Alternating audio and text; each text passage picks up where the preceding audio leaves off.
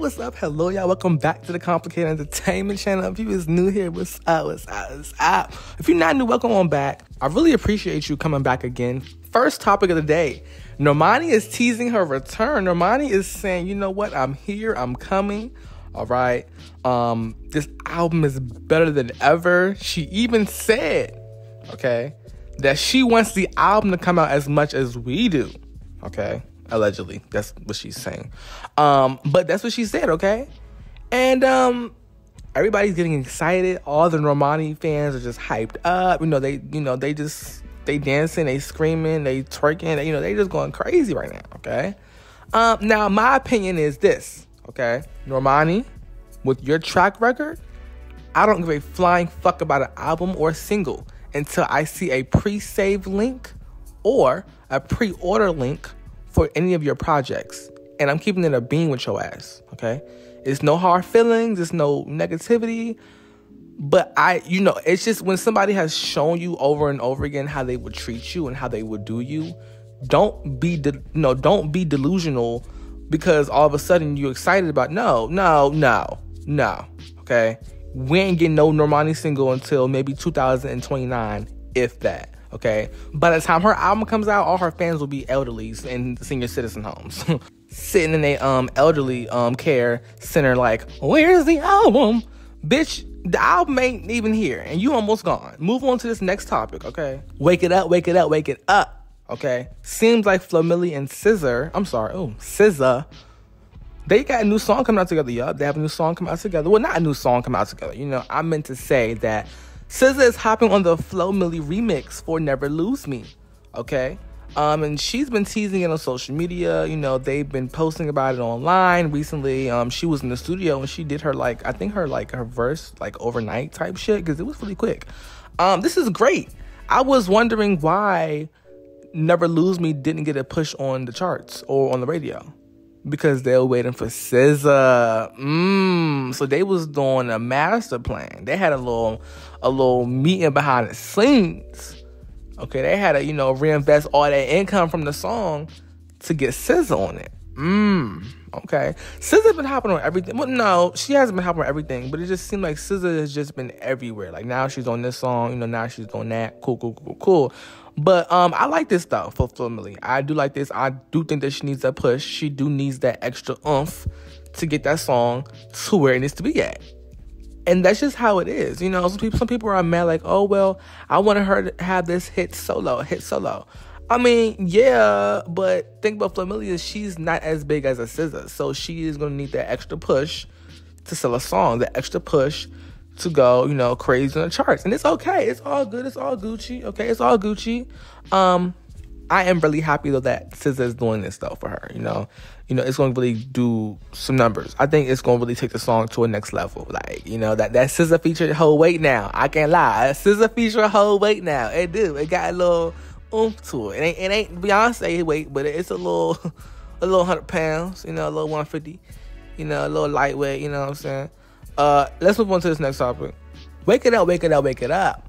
All right, Wireless Fest is coming soon. Um, Nicki will be headlining at Wireless. Yup, yup, yup. In case you all do not know, there was recently a promotional type video type teaser thing going around social media, and Nicki is one of them. Okay, and um, this is pretty good news. Pretty good news if you ask me. Um, I think that you know Nicki is going to be getting that performance bag all 2024 from her personal tour to these different festivals, um, it's going to go crazy. I can see her making about, you know, cool eight figures. No, not eight figures. Fuck that. What's I can see her making about a cool nine figures from performing next year. Okay, I think that's gonna go crazy. I mean, I'm sorry. Not, oh my god, it's this year. I'm I'm tripping. I need to lay, put the J's down.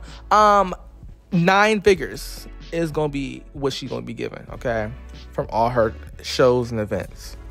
And that's gonna boost her net worth up like shit. I mean, her net worth going, you know, get some lip filler and Botox. You know, her her net worth to be plumped up like a botched BBL. Okay, plumped up. Okay, um, and I'm excited for it though.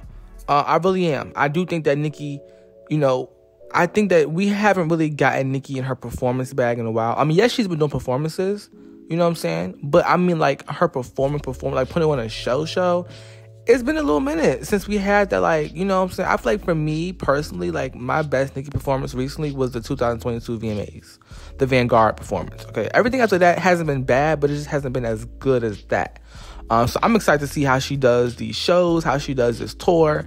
Um, now, me personally with this tour, I'm worried that um, you know the set list is going to be low key kind of hard to manage. Like you got too many hits. Like she got too many hits. Like if you ask me, like because I said it because like she has so many hits even prior to the Pink Friday 2 era, and that alone is enough for a tour. Like that that alone is enough to do a tour. So we're gonna see how it all goes. I'm sure that she's gonna find a way to incorporate everything somehow, some form, some way. Uh we you know, yeah, let's move on to this next topic. Moving on, y'all, to Demon Cat. Um, Doja Cat actually has gotten herself top five on radio. Yup. Um, Agora Hills, okay, is top five. Ooh, so it's getting that big push. It's getting that big push. Um, and it's on pop radio. You know, so it's doing numbers. You know, the the label is pushing the song. Now, if you ask me, I feel like Doja Cat knows how to make a hit. Like her team, her she she gonna make a hit. Okay, but I feel like she does have a lot to, prove in terms of being a rapper now.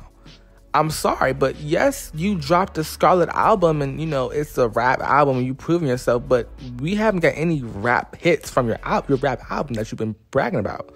So, you know, it's not bad. Look, I'm not mad that she's getting hits because you know, if you're getting a hit, that's good. Cool, period. Do your big one.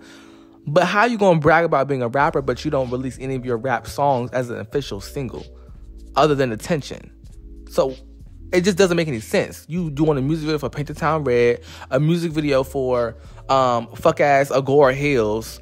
I'm not convinced that you are a rapper. Now, me personally, I'm speaking from the general public point of view. I know Doja Cat can rap. I know she has the capabilities to spit bars here and there.